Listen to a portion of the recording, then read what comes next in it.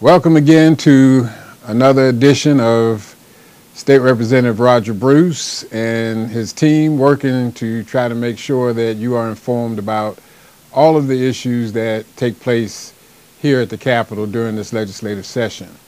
Uh, today we're going to kind of focus on issues related to uh, small business enterprise, trying to make sure that uh, we really talk about House Bill 712, uh, which tries to equalize uh, the procurement process here at, at the Capitol. Uh, I'm going to let you know our guests today introduce themselves, and then we'll get right into the conversation. Rodney Littles. Uh, Tiffany Steward-Stanley. And I'm Bill Cannon with the Georgia Black Constructors Association. Okay, as you guys know, uh, I dropped the legislation uh, this week uh, for uh, House Bill 712. And I say I dropped it, actually I pre-filed it before the session started, but the process requires that you file it again once the session starts. Uh, it will be assigned to committee uh, tomorrow, and, and then we'll know what the next steps are. But in the meantime, there's been all kinds of discussion about it already as a result of the uh, pre-filing of it. And, uh, you know, why don't we tell our listeners what, what you're hearing, you know, what you, uh, the feedback that you're getting about it now, and anything that you'd like to say about it. Sure. Well, Roger, we really appreciate you taking the lead on this. Uh, we know your background with uh, Maynard Jackson as mayor and his efforts to improve purchasing practices and inclusion of minority firms in government purchasing. Mm -hmm. So the, the, whole concern from our community basically is we pay taxes.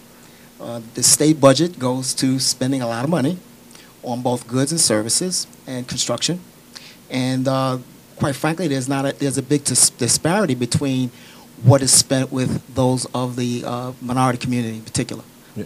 African American owned businesses specifically? Talk, talk specifically, because I know you, you had a, a significant uh, role in helping to put the legislation together. Okay. And, you know, people get confused about what the bill is and what the bill isn't. Right. So let's talk about that a little bit. You know, okay. you know, obviously, you know, it, it does not create the uh, disparity that we heard about in a, a, a meet right. we just left, right. uh, where the argument was that if we if we do this, that we're taking business away from the majority. Right. And uh, in fact, that I think her statement was that the balance has shifted the other direction. Oh.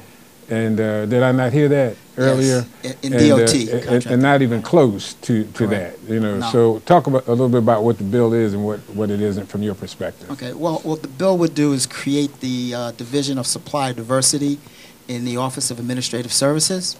The idea would be to uh, conduct a disparity study of all state agencies to determine whether there's a disparity in purchasing with minority women-owned firms. Uh, the State Department of uh, Transportation has just completed their most recent study, but the one that was completed uh, in 2012 clearly indicated that uh, particularly African American firms are underutilized based upon their availability in the marketplace.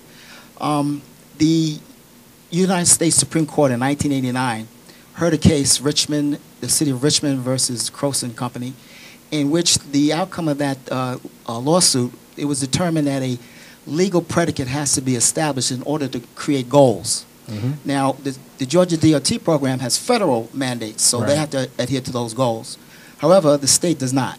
So all the purchasing beyond the federal dollars that come into DOT do not come under the scrutiny of a disparity program. Right. So we would like to see a disparity study done uh, in order to determine where and if there is a disparity in other state agencies for contracting for goods, services, and commodities. And create the balance. You, you just sat through a, a meeting a moment ago mm-hmm. uh, where one of the representatives, we don't have to mention the name, but one of the representatives mm-hmm. had a, an opinion about this. T what was your reaction to what she said? I, it was very shocking because I think if you look at the numbers, if you look at the study that was done between 2009 and 2011, you'll see that something along the lines of 2.5% of those contracts with the Georgia Department of Transportation went to African Americans. So I don't understand, unless there's some data that we're missing or I'm missing, where the numbers can come from where you can say that minority-owned businesses or women-owned businesses are taking contracts and money away from um, white male businesses. I mean, I just think the numbers are not there. And, and so you heard the same thing I heard. Yes, I heard You- the same thing too. It was shocking. Yeah, it, it, it shocked me too because I've never heard that statistic before that it was out of balance in the other direction. Um, you you sat through that meeting too, didn't you? Yes, and I heard just what you heard. However, I wasn't shocked. Uh, I'm I'm accustomed to it after all these years of trying to to work with you and others on on making a difference. Uh, I do understand that everyone sees it from their own perspective. The important number to recognize on that last study that Rodney mentioned is that there was an increase in the definition of women business in, uh, enterprise is defined as white women-owned business enterprise. And when you add the percentage attributed to white women-owned business to white male-owned business, it's 96% of all the dollars spent. You know, what, one of the things that, that, that I was trying to bring up at that other meeting as well was the, the, the idea that I I was trying to find a, a distinction between businesses that are owned by minorities and, and women uh, versus the person that owns the company having to have the, the, the skill set.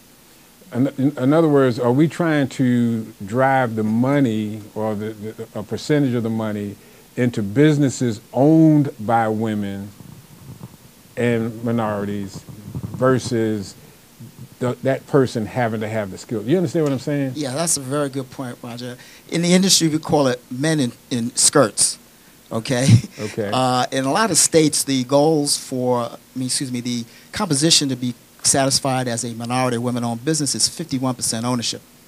Uh, according to your bill, it requires a demonstration of 70% ownership to be a woman-owned or minority-owned business. Right. And quite a few minority-owned businesses, particularly African American, are 100% owned. Right. So there's no no delusion at all. Exactly. So yes, the, what has happened, and I think Bill pointed out very aptly, the the percentage of work at DOT that was going to women white-owned businesses was higher than their availability in the marketplace. Mhm. So they don't have a disparity. Okay, t- talk a little bit too. You know, I don't, either, either one of you uh, around the types of you know because when we when we say DOT and jobs, people tend to think strictly building roads, and there's a whole lot more to it than just building roads. And and and, and just I, I was watching them lay out uh, sidewalks in my neighborhood. And, and most people think that all that's involved is, you know, you go dig up the ground and you throw some concrete down there and you smooth it out. But there's a whole lot of other things that go in there. It's piping, it's all kinds of things that happen just to make, uh, uh, uh, just to make a, a, a walkway. Mm-hmm. So all of those other jobs, you know, talk a little bit about all the other jobs so that people who are looking at this Right. would have some sense for you know the kinds of things that they might be able to go to DOT with in terms of their job their, or their company, Correct. because it's not just building roads. The hard work, right. Well, there's a whole area of professional services. that There's a design aspect before you even get into going into the ground. Right. So the soft services in engineering and architecture are very, very prevalent, and they're needed way before you get to the part of actually digging up the ground. Mhm. Uh, also, the idea of the bill, uh, HB 712, is to look at purchasing uh, state agencies in goods, commodities, and other non-construction related services. It's not Right. just construction related Correct. services. So we would be looking at making an impact in uh, local communities uh, in various industries, not just in construction. Right, and and we're talking about you know things might be as simple as office supplies. Correct. It, it, it could be cleaning the buildings. Uh, and you don't have to be a rocket scientist to, to, to clean the buildings and to provide, you know, goods and services. So we just want to make sure that as people, you know, if, if you start a business, if you have a business, that you, you look at this in the context of all of the different things that the state purchases. And, it, and it's not, like you said, it's not just construction, there's all kinds of things. And, uh, and, some of them are long-term repeat contracts. Some of them are, you know, one-shot deals. But the point is that you really need to, to pay attention uh, to all of the aspects of business and see whether or not you can offer your goods and services to the state.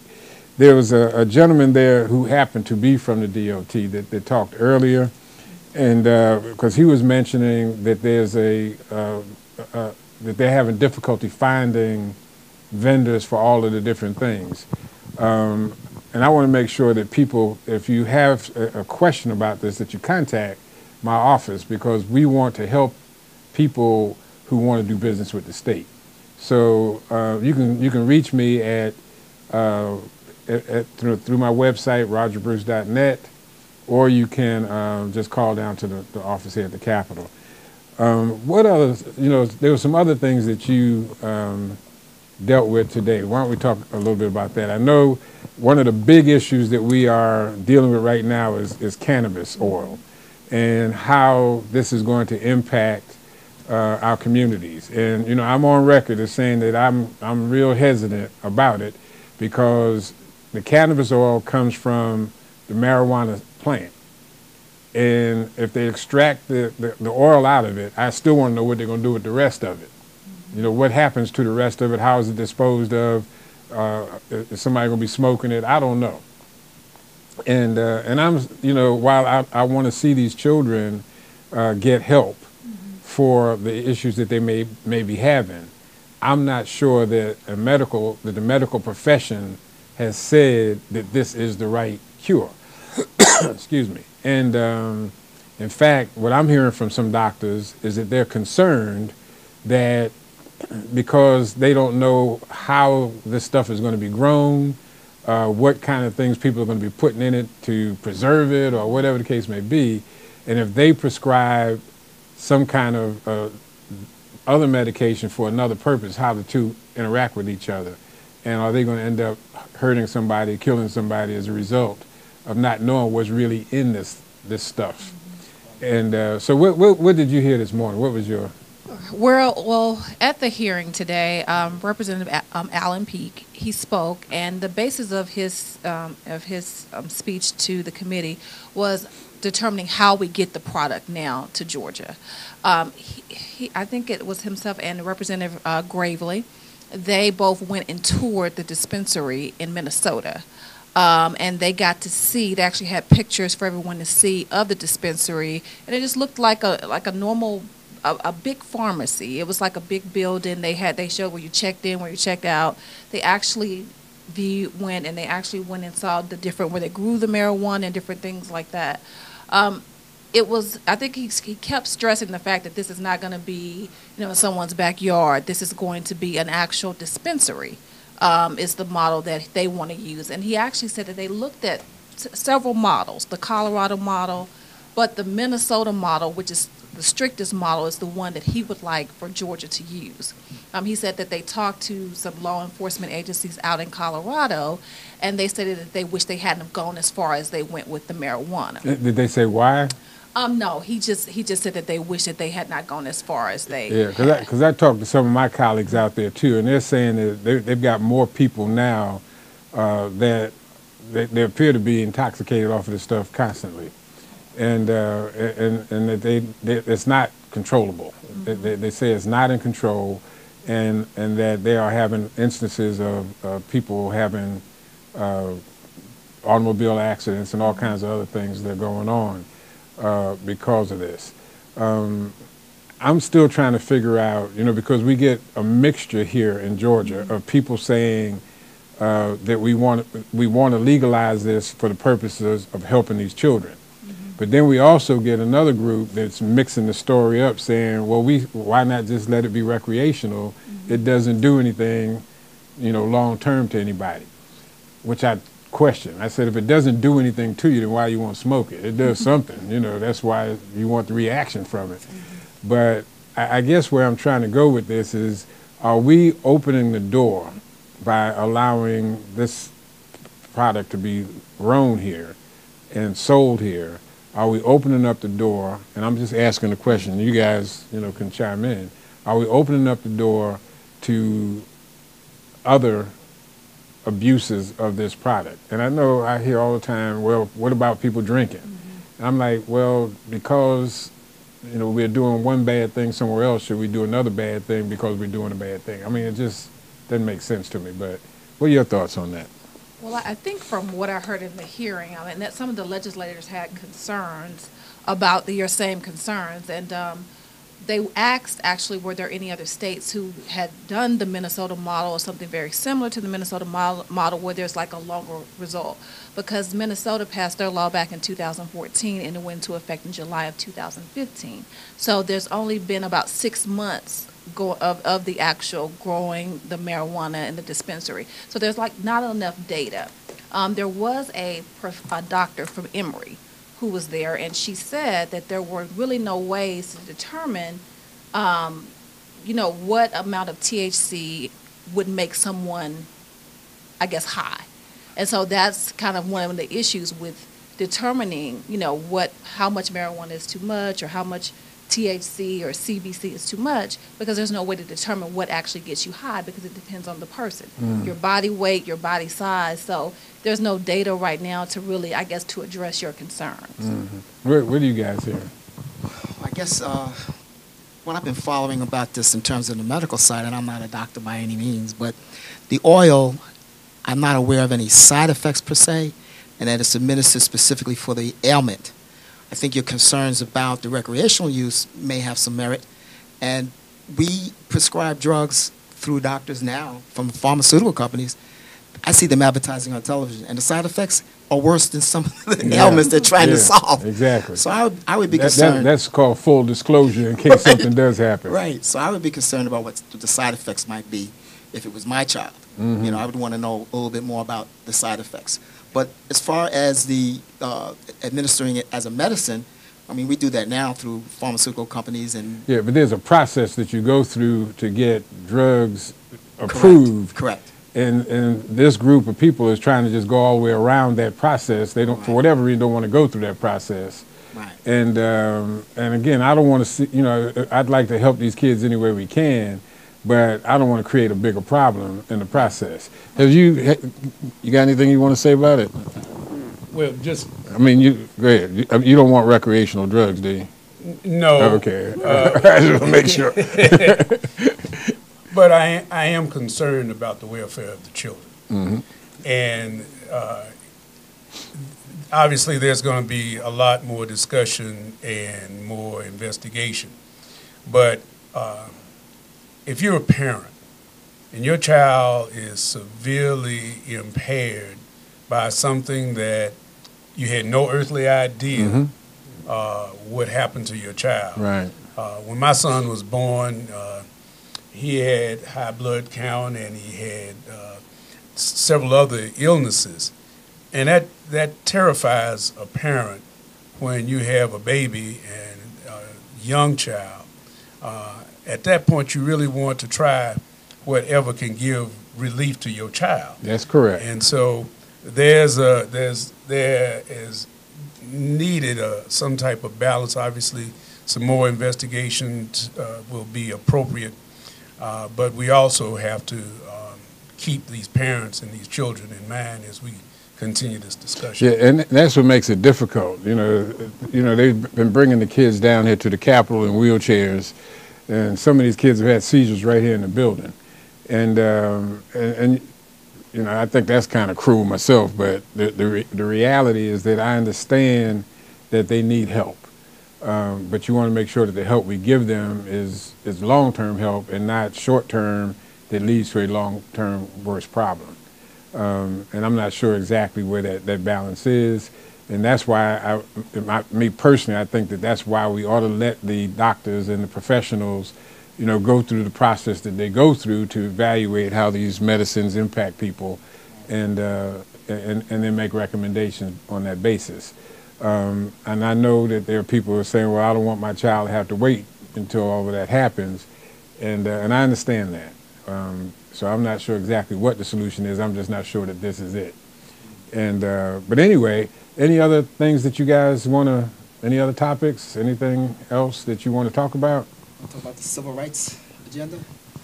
Uh, yes, the um, for those of you that may not know, the, the term civil rights was coined by Dr. King Silver. S-I-L-V-E-R Okay. uh, that uh, during the final stages just before the Civil Rights Act was passed, he realized that there was a need to address economic injustice. And so with that, he said that we got to launch a civil rights movement as the companion to the civil rights movement.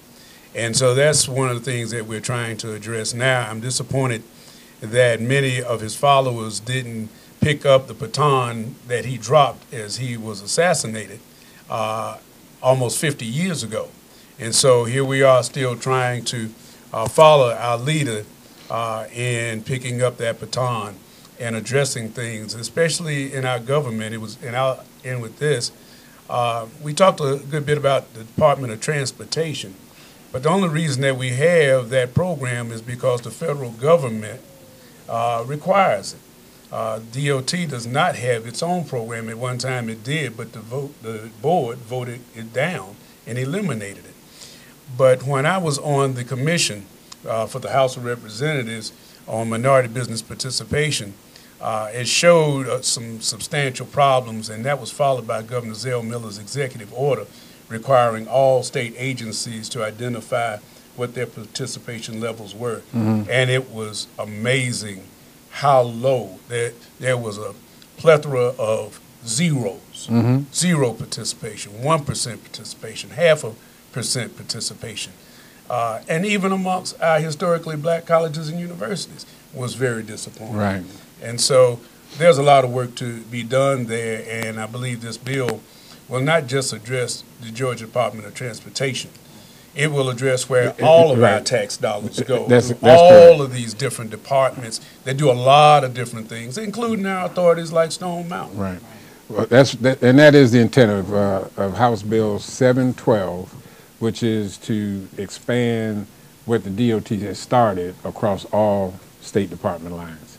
Did you have something else you wanted to say? No, I, just, I think it's Did we catch you off guard with that? you didn't catch you off guard, but I just think in, in reading bills seven, House Bill seven twelve, and actually uh, just doing some research on it, it just definitely seems like there's something, it's something that needs to be passed, and it's something Mm-hmm. that we need.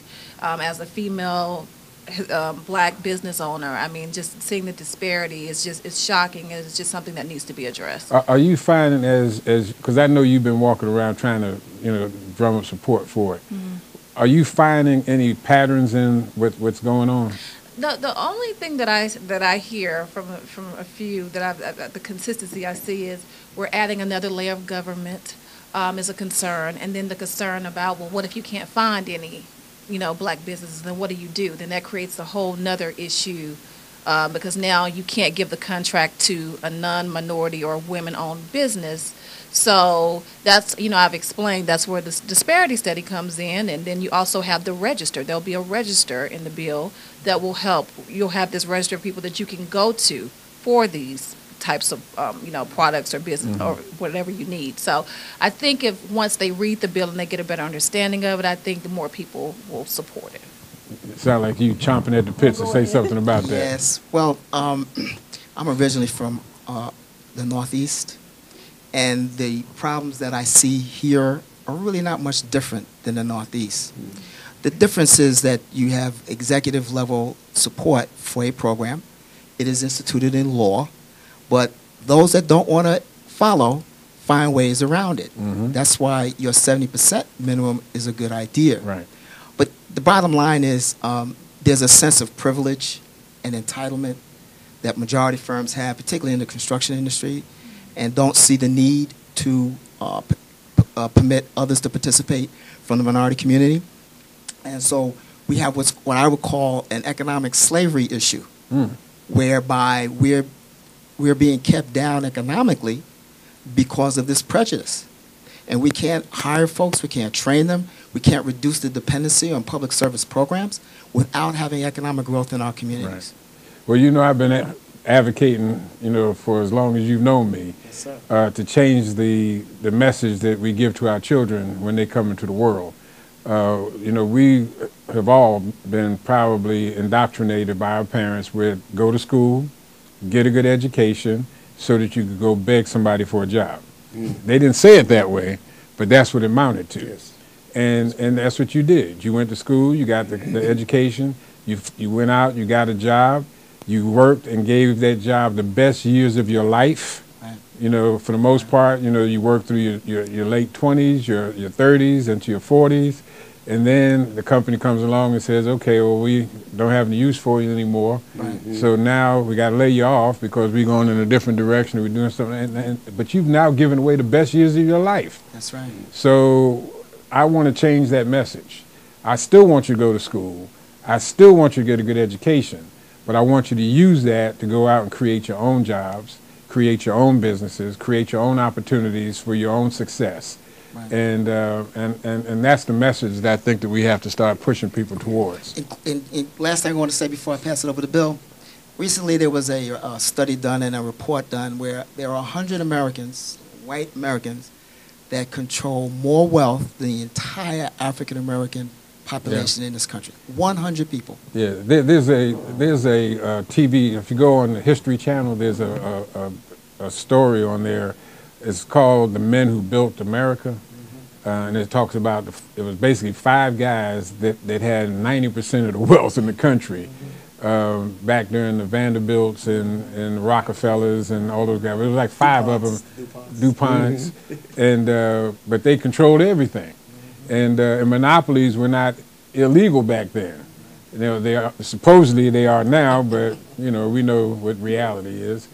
But we just have to figure out how do we take the American dream, so to speak, and allow it to be everybody's dream and not just the dream of a handful of people. Um, that's a that's a very interesting point. But your point about the education process reminds me of my alma mater, Hampton. We have a entrepreneurship program. You can graduate with an entrepreneurial degree. When that program was first initiated, it, it the I guess because it was not thoroughly vetted, when they graduated, those with this degree, they didn't have anywhere to go mm. they couldn't get a job because they had a degree in entrepreneurship, which says to a business, well, you're just going to use us so that you can start your own business. So we're not going to invest in in your creating a business that may compete with ours. So that was something that had to be re-engineered. But what used to happen was our young people went to college, came back to the family business that was already in our Right. community, which is the other part of civil rights, is the African American community reinvesting in the African American community so that that dollar is recycled, so that we can help support our, our, our HBCUs like Morehouse, Hampton, and others. Right. All right, guys. I think that might wrap it up for today. Um, I appreciate you guys coming out um, and, and spending the time with us this week. And uh, we're going to come back again next week. We'll talk about the bill. Uh, it has been dropped, as I said, now in the House. Uh, it'll be assigned to committee tomorrow. Uh, we'll know by next week what committee it's in, and we encourage people to come down and support it uh, because I think everybody benefits from it. This is not a, you know, give business to minority company bill. It is, let's get everybody that's involved in this process, that lives in this state, give everybody equal opportunity to participate in the, in the, in the things that the state has to offer. I think that's a better way to, to, to put it. Uh, so again, thank you for, for coming out. Uh, look forward to continue working with you guys, and uh, let's, let's make Georgia a better place for everybody. Amen.